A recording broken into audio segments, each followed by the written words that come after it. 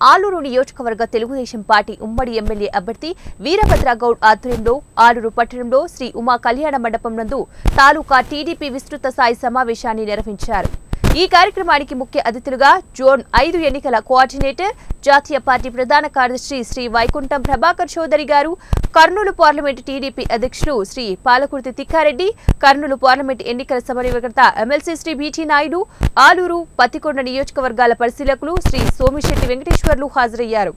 మొట్టమొదటిగా దేవనకొండ వచ్చి రెండు గంటలకు మీరు భోజనం ముగించుకొని దేవనకొండ మండలానికి సంబంధించినటువంటి నాయకులందరూ కూడా హాట్ ఆఫీస్కి వస్తే పెద్దలు మీతో వన్ టు వన్ మాట్లాడతారు. అదేవిధంగా రెండు గంటల పదహైదు నిమిషాలకు ఆస్పరి. రెండున్నరకు తిప్పగిరి రెండు నలభై ఐదుకి వలగుంద మండలం.